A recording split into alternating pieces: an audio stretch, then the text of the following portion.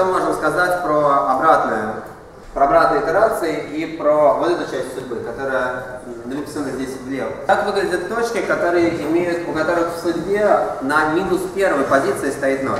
Что значит, что на минус первой позиции стоит 0? Это означает, что когда мы подействуем обратным отображением, то мы хотим попасть в А0. То есть это означает, что это ровно те точки, которые... А, ну давайте, давайте посмотрим еще на вот эту картинку. Значит, эм, я даже ее перенесу. Задаем такой вопрос. Где находились в прошлом, на одну итерацию в прошлом, точнее не так, где находятся сейчас точки, которые на одну итерацию в прошлом находились вот в этой полосе.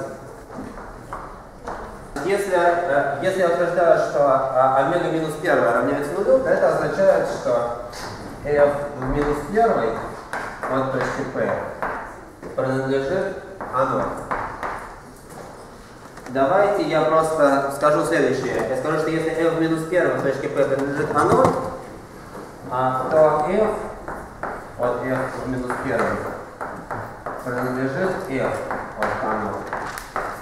А это означает, что P просто принадлежит образу А0 под действием f.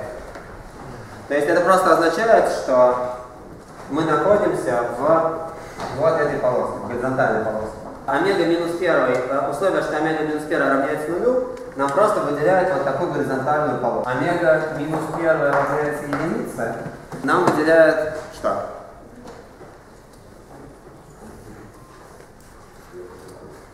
Верхнюю полосу, верхнюю треть.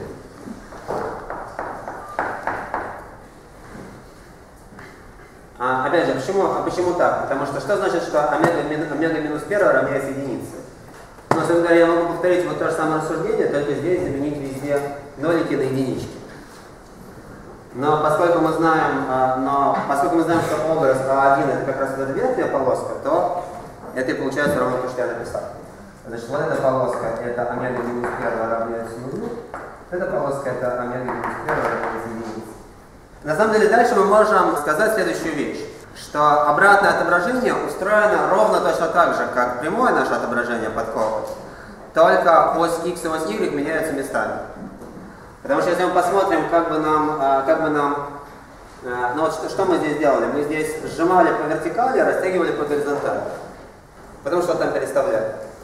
Если мы хотим действовать в обратную сторону, то нам на самом деле нужно делать э, все с точностью наоборот растянуть, э, растянуть то, что мы раньше сжимали, сжать то, что мы раньше растягивали и так далее. Немножко опущу сейчас подробности. А, я предложу не то, чтобы мне поверить, а скорее проверить самостоятельно, это очень полезное упражнение. И я хочу сказать, что если мы фиксируем несколько, несколько позиций в судьбе в обратном времени, то мы будем получать э, соответствующие, абсолютно аналогичным образом, будем получать соответствующие горизонтальные полоски тоже. Например, вот ту треть, которую я сейчас выделил, это треть, которая соответствует э, условию омега минус 1 равняется нулю и омега минус 2 равняется нулю. Я оставлю доказательство этого факта, аккуратно доказательство этого факта в качестве упражнения. А, единицы, конечно, да, спасибо. Спасибо, конечно, единицы и единицы. Вы правы. Да. Когда меня учили читать лекции, мне объясняли, что нужно время от времени совершать специальные ошибки, чтобы аудитория не спала, и время от времени лектор на этих ошибках ловил. Я, этому совету, я к этому совету прислушался отчасти.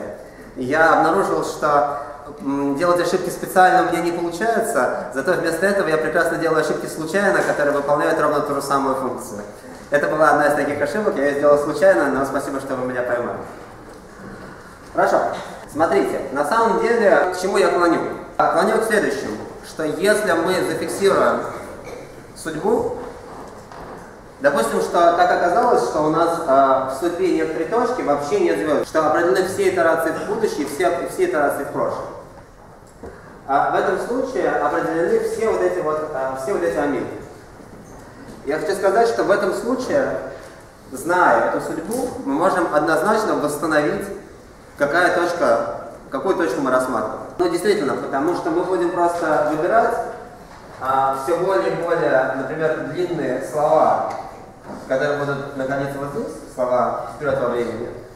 И они нам будут кодировать все более и более узкие вертикальные полоски, так как у нас здесь было. А потом мы можем брать, а, потом мы можем брать слова, которые идут вот так назад во времени, начиная с минус первой позиции. И когда мы такое слово зафиксировали, это означает, что мы уже знаем, что наша точка лежит в некоторой а, узкой горизонтальной полоске. Чем более длинное слово мы рассматриваем, тем более, узким, тем более узкими полосками, э, с тем более узкими полосками мы имеем дело. А наша точка обязательно оказывается в пересечении, пересечении каких-то чрезвычайно узких полос. А, это означает на самом деле, что поскольку мы эти полоски можем сделать сколь угодно узкими, то это означает, что на самом деле мы можем узнать точно координаты нашей точки.